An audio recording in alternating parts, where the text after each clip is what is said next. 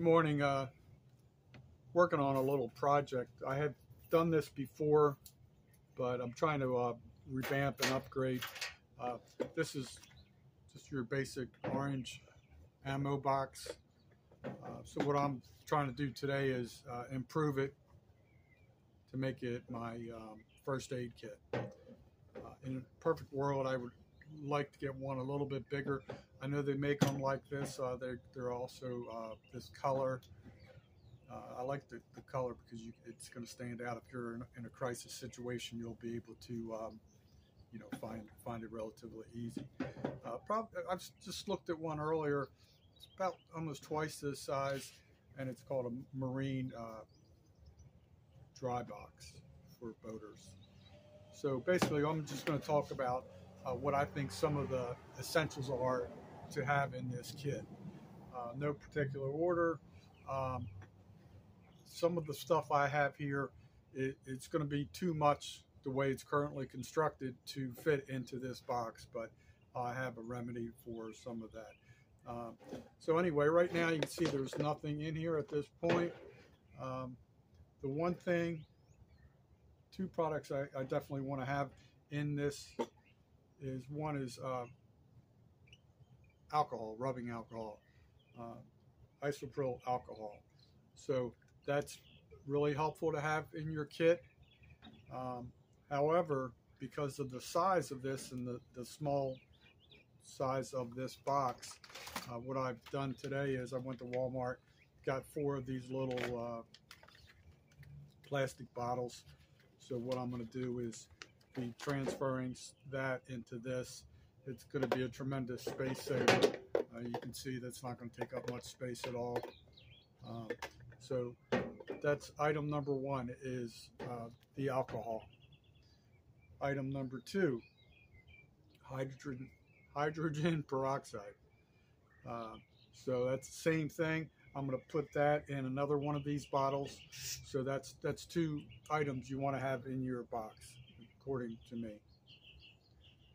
So those two two items right there. Um, this is the uh, Walmart version of the like the uh, Neosporin. It's an antibiotic cream. It's also uh, pain relief. So that's a, I got the little small version just so it would fit in there easily. So those three items so far. Um, the other thing is uh, I probably have a little excess here. Um, I might want to put these in a, like a plastic bag, but these are like the little wet naps you get at, at the restaurant. Um, they're good to have you clean up or, you know, worst case scenario, if you have to do number two out there in Mother Nature, you'll have something to wipe with. Um, the next item would be tweezers. I'll be pulling these out of this package, but you know, if you get a splinter, you know, whatever, you know, from wood or sticker bush or something like that, tweezers are a good thing to have. I'll be taking it out of the package to save space. So that's that's another item. Um, these uh, wet naps are another nice thing to have. Uh, it's kind of almost a duplication of the wet naps, um, but that's that's nice to have. Uh, it's anti they're antibacterial wet wipes. That's another item. Uh, just for uh, I do a lot of camping, so this is kind of like some of the things I like to have available to me when I'm camping. Um, just as an emergency backup. Two two cheap Walmart ponchos for I think 99 cents each. So that's another item I'd like to have in my uh, first aid kit for safety reasons.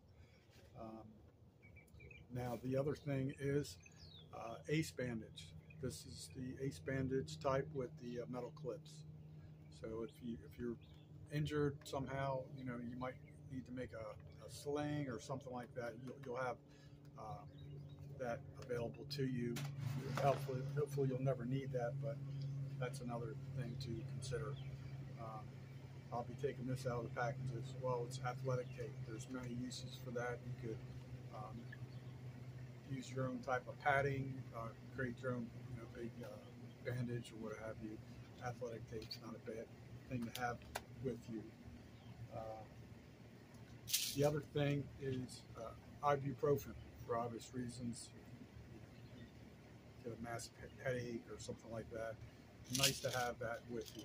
Uh, the other thing I, I don't have with me right now, but I, I like with these type of containers, um, when I'm camping, I do have it in my camping kit, but I have an empty container like this with a bunch of matches, wooden strike matches, and I also had the strike plate inside this. So uh, I'm never in a crisis situation outdoors, uh, hiking or what have you, I, I have some type of uh, fire source. Uh, also, have toilet paper, have that jammed in there. Uh, this is a new addition I just purchased this morning. I was thinking about different things to add to the kit. Um, you, you know, why the shaving cream? What, you know, what's up with that? So, uh, shaving cream is is well known to uh, ease the pain if you get sunburned, if you're outdoors and get sunburned. So it's uh, preferably you get the kind with uh, uh, the aloe in it. So uh, that's a good thing to have. Um, petroleum jelly. And we're about to wrap it up here. Just uh, one more thing. You know, if, if you're camping, you're outdoor, you know, what, what have you. I, I do um, a lot of my examples are camping related because that's a lot of what I do. But this is another good item to have is an air horn.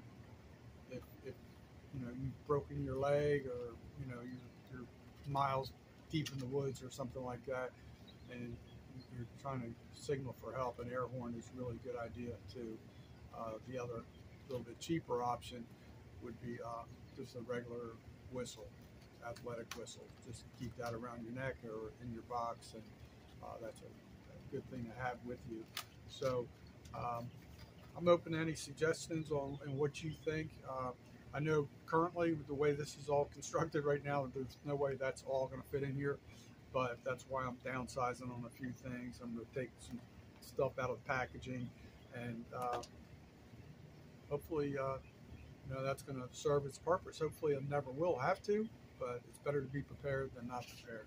So have a great day, and remember, know your legal limits.